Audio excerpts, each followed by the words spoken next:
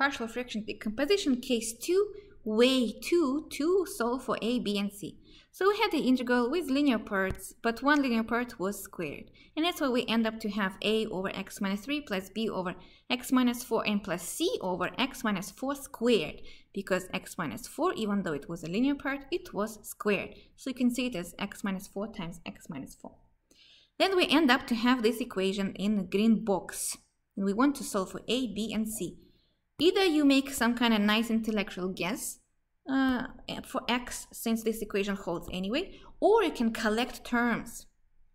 Way two, and that's usually the official way people doing it, collect terms.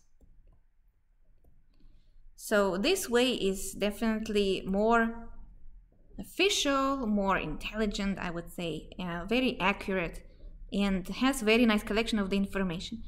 What I mean by collecting terms is I want to collect all coefficients in, in front of the x to the second power, all coefficients in front of the x to the first power, and all coefficients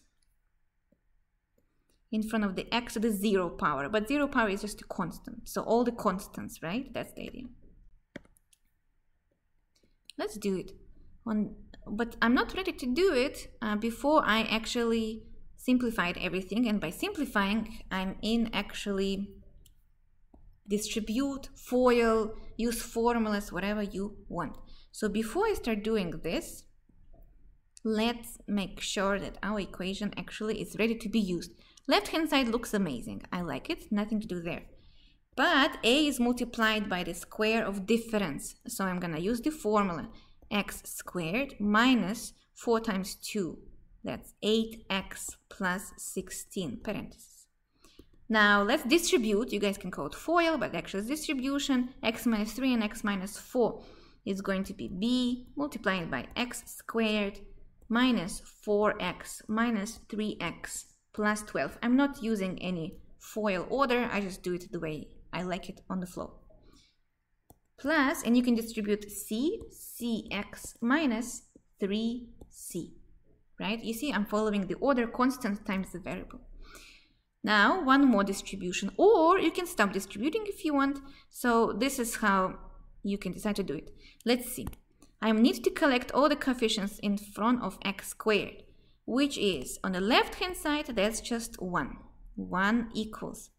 On the right-hand side, it's going to be a in front of the x squared and b is going to be in front of the x squared and nothing more. How do I know? Even though I did not simplify or collected anything or finish distribution, which some people like doing, some people are really tedious with this, they will keep distributing everything a x squared minus a 8x plus a times 16 plus b x squared minus 4x minus 3x is minus 7x minus 7x times b plus 12b plus cx minus 3c. And now you need to collect the terms if you have any to collect and so on and so on. I usually don't do it. I usually just see on the flow which coefficients will be multiplied and then I just don't multiply it. I do it in my head.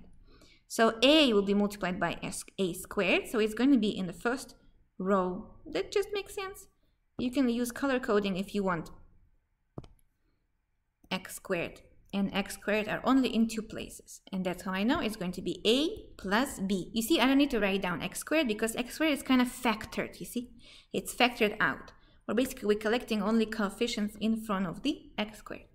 That's my first equation. 1 equals a plus b. And as you can guess, for three unknowns, we need three equations. Now we're collecting everything in, in front of the x to the first power. There is nothing on the left-hand side uh, that looks like that. Because you can see on the left hand side it's actually x squared plus 0 times. I can write down on the second row. It's actually x squared times 1 plus 0 times x plus 0 that's how you can see. So 0 equals now what is going to be in front of the x? It's going to be a times minus 8 so minus 8a in front of the x, skipping 16 because it's not multiplied by any x. Now b multiplied by negative 7 is going to be negative 7b. Skipping 12, we don't need that. And skipping x squared, we also don't need that, and we already used it. What else is in front of the x? c. So plus c. That's all. Let's check uh, with our simplified version. What is in front of the x? 0 in, on the left hand side, minus 8a, correct? Minus 7b, correct? And plus c and nothing else. Finally, let's collect all the constants. On the left hand side is 0. On the right hand side, whatever is left, a, let's do purple color, times 16. So it's 16a. Now, b times 12, b times 12, and minus 3c. So 12b minus 3c. Let's check in the distributed form. 16a, 12b minus 3c matches. You see, I underlined everything at some point. So everything disappeared. And as you can see, I did not need to FOIL distribute everything to the last moment. You can use your imagination if you want. This is a system of three linear equations with three unknowns. So by the theorem, there is a unique solution for those three unknowns. Now you need to solve it. There are many ways we taught you how to solve linear equations, either using uh, substitution methods, not U substitution, but actual substitution method, or elimination method, right? Elimination method. You choose the one you want. Substitution method is when you want to solve, for example, for A, which is mine, 1 minus B, and then plug it, 1 minus B, and then plug it everywhere else, and then keep doing the same idea. The elimination method is, for example, you find some kind of pattern like you want to multiply this 1 by 3 everywhere and then add together then 3c and minus 3c will cancel out. That's elimination method when you want to eliminate one of the parameters or even several at the same time. Not even parameters, variables.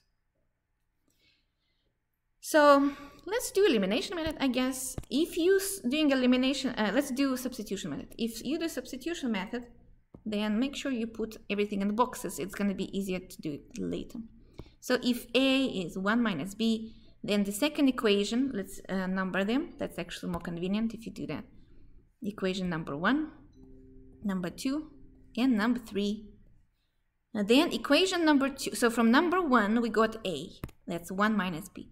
Then equation number 2 becomes 0 minus 8, 1 minus b, minus 7b plus c, and equation number 3 becomes 0, 16, 1 minus b, plus 12b minus 3c. And now we have two system of system of two linear equations with only two unknowns. And now you repeat, what do you want to do, elimination method or a substitution method? And uh, I would say probably you first distribute, and collect the terms, see how it goes. 0 equals minus 8 plus 8b minus 7b plus c.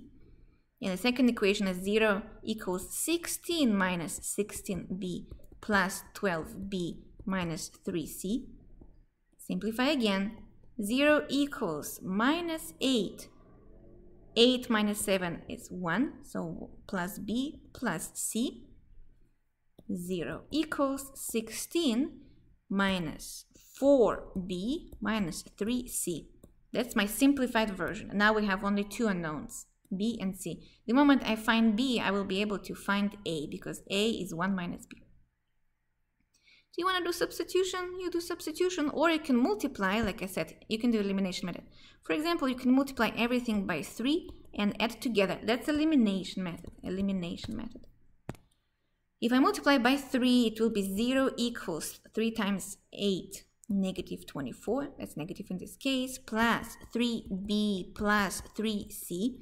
But the second one is 0 equals 16 minus 4b minus 3c add them together, we'll cancel out 3c and minus 3c, and finally it will give me b. Minus 24 plus 16 gives you 8, minus 8. Now, uh, minus 4 plus 3b gives you plus b. And finally, you get your b, which is 8. The moment you got your b, now you start rolling back the idea. So you got your b, find the box for a, and that's why the boxing method is so good. I like boxing any important information. Here it is. You see, visually I can find it really fast in my notes. Then a is 1 minus b, which is 1 minus 8, which is minus 7. Minus 7. Uh, was it 1 minus b? Mm, okay. I think I messed up with signs. It should be minus 8. b should be minus 8. So let's check again. Oh, I see, I see. It should be minus b. Yeah, because minus 4 plus 3 is minus 1. It doesn't match my previous answer. So it's minus 8. Then it's going to be plus, and this is going to be 9. Perfect. Now the answer is good. 9. Put it in the box. How to find C? Since you have A and B, you can plug it literally anywhere and solve for C. But actually you can do it, for example, over here. It's just easier. Find the easiest equation. For example, this one. I'll put it in the box for you. From this blue equation, it will be 0 equals minus 8 plus B. That's minus 8 again, plus C.